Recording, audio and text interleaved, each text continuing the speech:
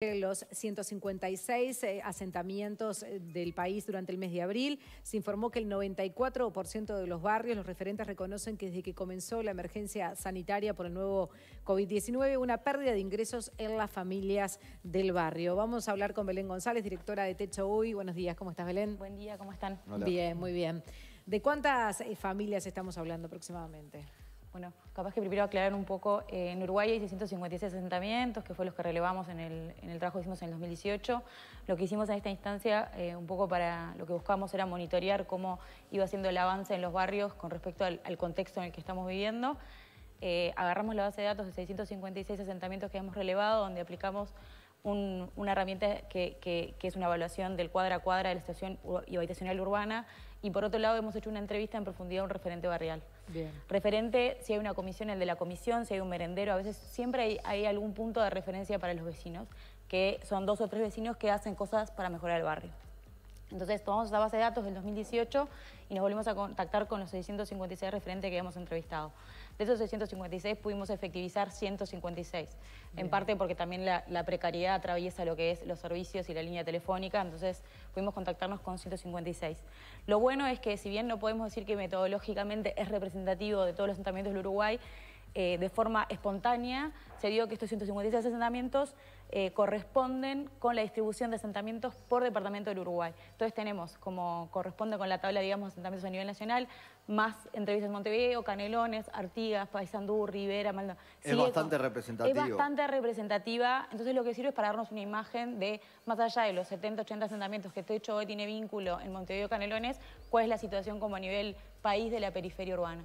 Y bueno, como vos decías, la pérdida de ingresos fue brutal, eh, nos podemos imaginar que este freno económico afecta principalmente a las familias que viven eh, en contextos críticos y en periferia urbana, pero bueno, que eh, todos te respondan así, acá se está sintiendo de, forma fuerte la pérdida de ingresos es importante. Pero ¿cómo, ¿cómo se materializa eso? Porque la pérdida de ingresos en la mayoría de los hogares que nos están mirando se debe haber dado también. Sin embargo, las consecuencias de esa pérdida de ingresos en lugares donde la emergencia es casi que permanente, deben ser otros, ¿no? Claro, ahí preguntábamos puntualmente para relevar, por ejemplo, la emergencia alimentaria. Eh, la definimos como familias que no puedan eh, hacer tres comidas al día, que no puedan cumplir tres comidas al día. Y ahí de los eh, referentes que contactamos, 88%, o sea, casi todos nos dijeron que en sus barrios seguro hay familias que no pueden cumplir con las tres comidas al día les pedimos que siga un ejercicio de estimación, o sea, todos estos datos que estamos presentando son estimaciones, la persona lo que hace es estimar de su barrio cuántas casas consiguiera, cuántas familias, el referente conoce la realidad del barrio y hace una estimación de cuántos calcula no están pudiendo, que sabe que no tienen ingresos, que sabe que lo que mm. proviene de la TUS o algo se la termina los 10 días y que el resto de los días va y come de la olla al merendero. Entonces ahí les pedimos que estimaran y de estos 165 asentamientos nos estimaron 5.445 personas. Esto es el 36% del, del, universo de este informe. Si lo trasladáramos a Uruguay es, claramente para presentar que las medidas que estamos tomando como país en, este momento eh, con la relación económica no están siendo suficientes para las familias que viven en, periferia urbana, eh, cuando casi todos los vecinos te dicen, sí, acá la mayoría hay un gran porcentaje de gente que no puede cumplir tres comidas. ¿Quiere decir que antes no existiese? Probablemente existía antes de, la pandemia COVID. Lo que estamos diciendo es que ahora se recrudeció, se generalizó y se profundizó y que hay que tomar medidas eh, cuanto antes, porque en realidad estamos hablando de que la pérdida de, nutrientes, de alimentos en la, infancia tiene impactos enormes. No, y que se, que se suma tal vez quizás a, otras problemáticas, por ejemplo, eh, la de la higiene. No sé si pudieron hacer un relevamiento en ese sentido y cuántas familias hoy tienen problemas para tener una higiene correcta, considerando también que es una de las maneras más efectivas de combatir la pandemia. Sí, ahí les consultamos, em, esto fue durante abril, entonces les consultamos, lo primero que consultamos es si estaban al tanto de toda la información que estaba, estaba alrededor con el tema de los cuidados. El 86% de los referentes dijo que en el barrio se sabía del tema, que la gente se estaba cuidando de alguna forma, pero que la mayor parte, el 54%, 54 nos dijeron que no tenían la capacidad de cuidarse por cuestiones económicas o por acceso a los productos o servicios. O sea, que más de la mitad tiene problemas. Ahí estimamos 7.000 personas. Pero ahí, Belén, por ejemplo, es solo una situación económica del jabón, el alcohol en gel. No, o eh, acceso. Eh, agua, sí, hipoclorito, lo que sea, o, o también es el agua potable. Sí, bueno, nosotros cuando relevamos en el 2018, el 33% no tenía acceso al agua eh, potable de forma regular.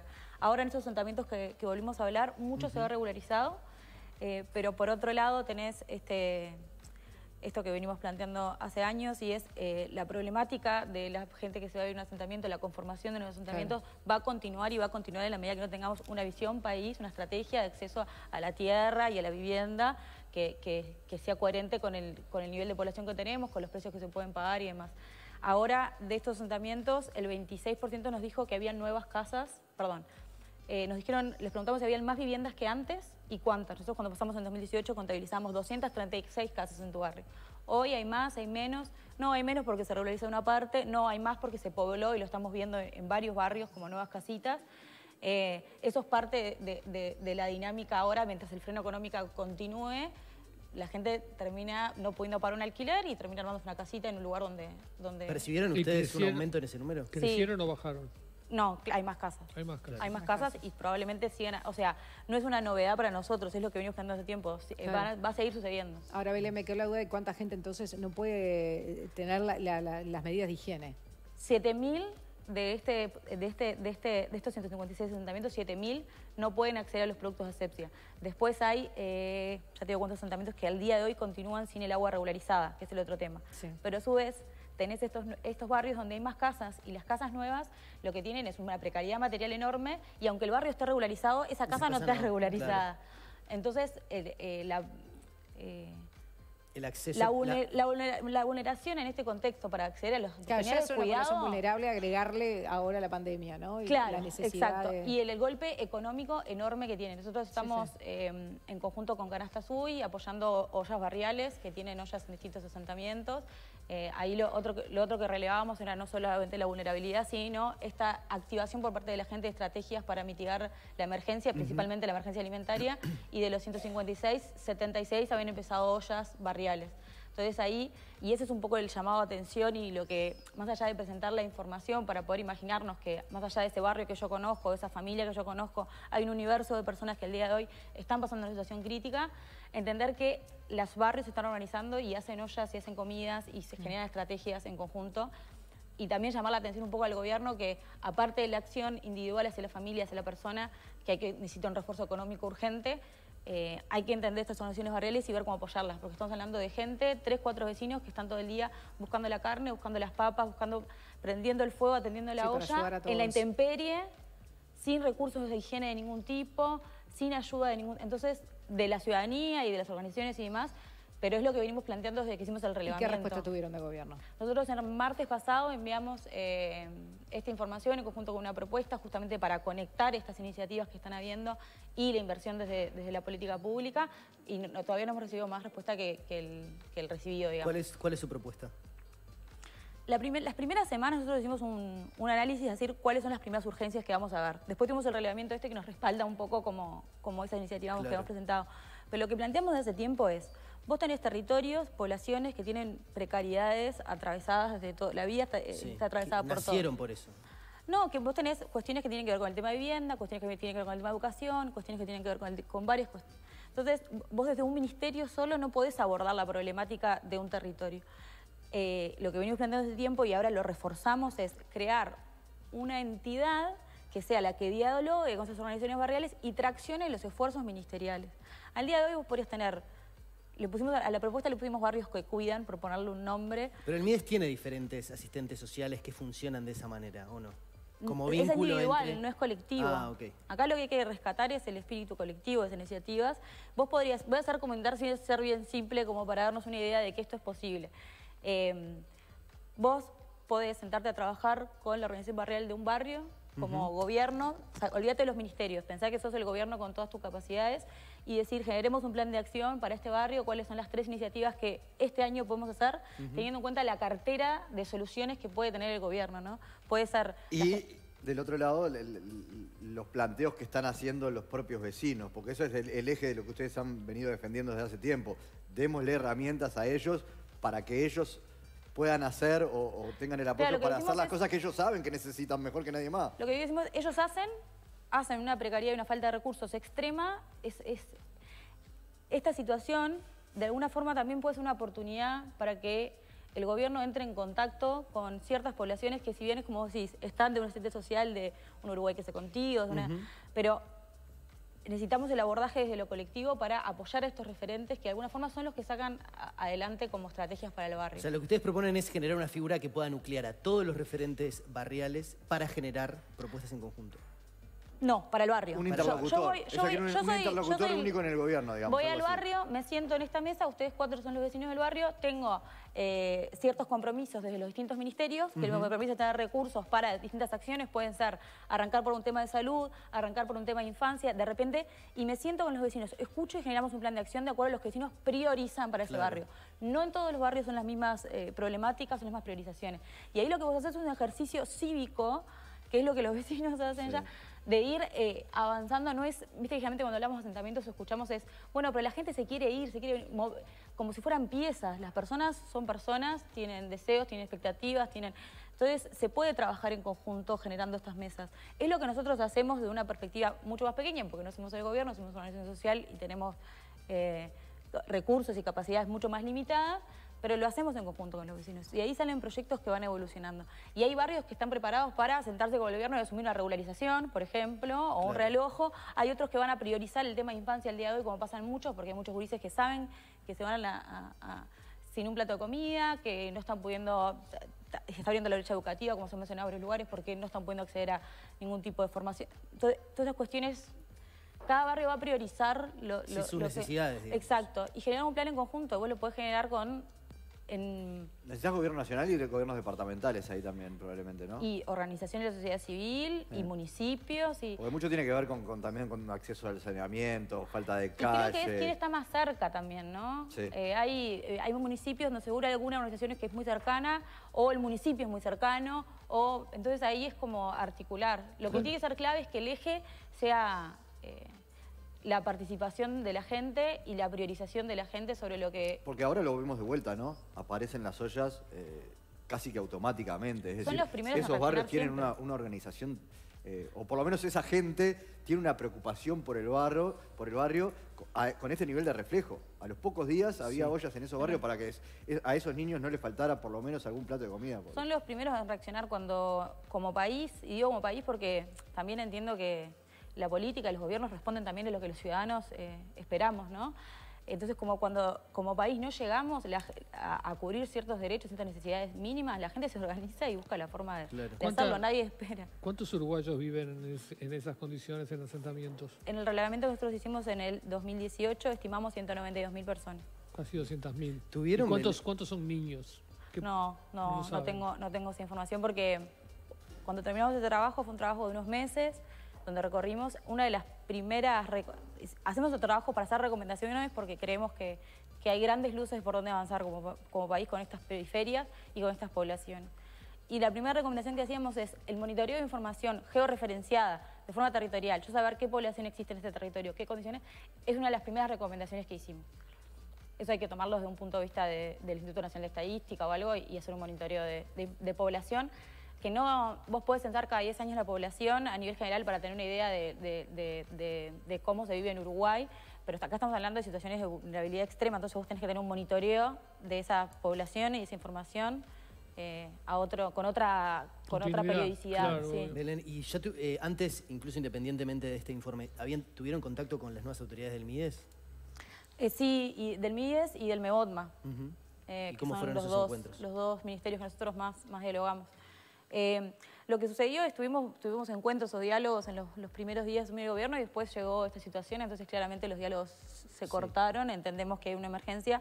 Lo que sí, y por eso la carta la enviamos el, martes pasado a, bueno, al presidente de la República, al secretario, a la ministra de Vivienda, al ministro de, Salud Pública y al ministro de Desarrollo Social, porque no es, eh, el razonamiento es hay una situación de crisis y estamos dedicando muchos esfuerzos, me imagino que estamos todos trabajando muchísimo para, poder entender la situación, pero esto no es algo que vos podés postergar para, después. Estamos hablando de emergencia alimentaria. Esto es parte de la emergencia. No, no, claro, esto es parte de la emergencia. Es y la emergencia. Y, y, la medida que, primero hay un tema de, yo te estoy diciendo como gobernante que hay gente que no está pudiendo comprar tres comidas al día de forma, o sea, mm. hay un tema que... Sí, eso eh, digo, es antes de la pandemia, ¿no? Eso y ahora se recrudeció. Claro, ahora ya es más complicado. Sí, sí, sí, y se generalizó, claramente, sí. Y después está de, que tenés una... Eh, oportunidad de entrar en diálogo y trabajar con muchos territorios que de forma rápida que el día de hoy quizás contacto en gobierno te, te, va a tomar un tiempo. Entonces, a veces las, nosotros como, organización hemos trabajado muchas crisis porque hemos trabajado, trabajamos en Latinoamérica, entonces trabajamos con países con terremotos. Con, entonces, eh, hay, hay, ciertas cosas que sabemos de este tipo de crisis que generan y es que aceleran procesos que a veces también aceleran procesos que son buenos, positivos. Eh, positivos. Entonces, eh, entender que si ya venimos diciendo hace muchos años que hay un tema de pobreza urbana que es crudísima y que el gobierno no está pudiendo invertir lo suficiente económicamente, nunca hemos invertido ni mirado la periferia urbana con seriedad, nunca como país. Lo que, si hace años venimos planteando esto, en este contexto se vuelve se visibiliza mucho más lo que venimos viendo de la precariedad y se visibiliza mucho más la acción de la gente.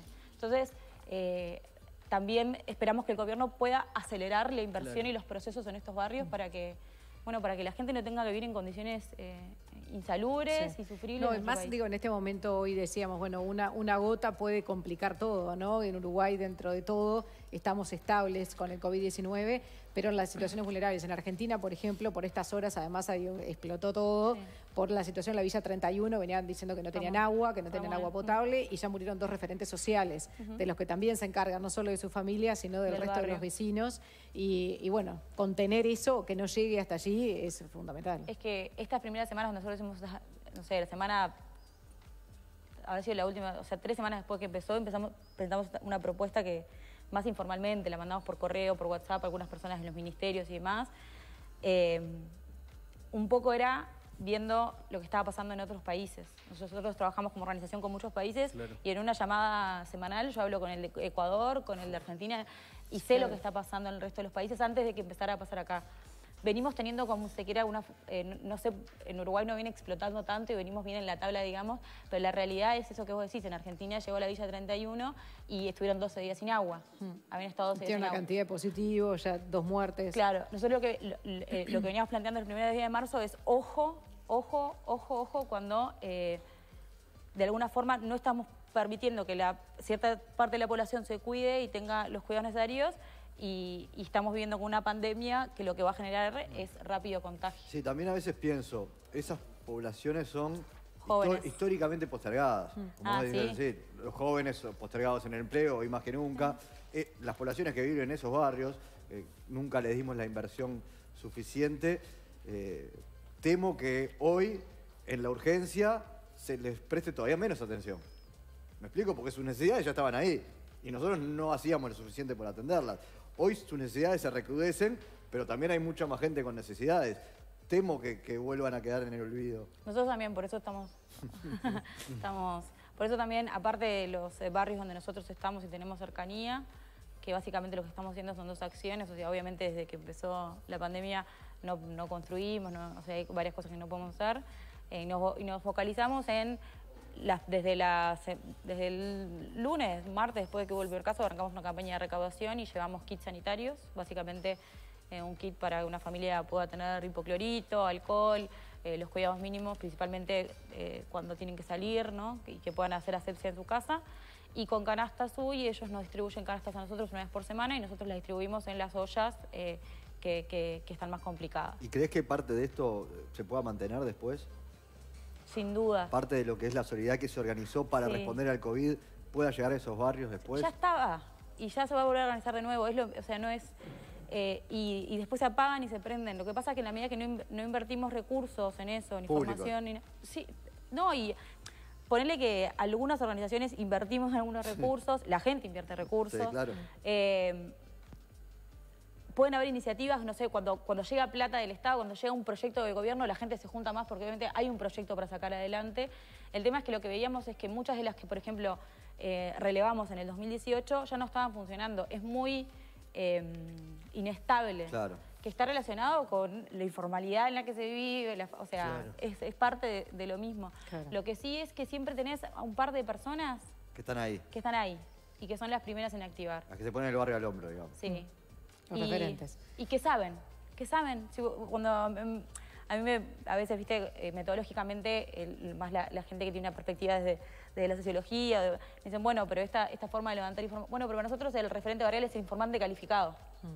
Es el informante calificado del barrio. Yo confío y deposito en esas estimaciones que él me está haciendo. La información más fiel que el día de hoy como país podemos tener sobre ese barrio. Esa es la realidad. Belén González, muchísimas gracias. No, gracias a ustedes. Muchas gracias por venir. Tenemos que actualizar hasta ahora los datos del tiempo.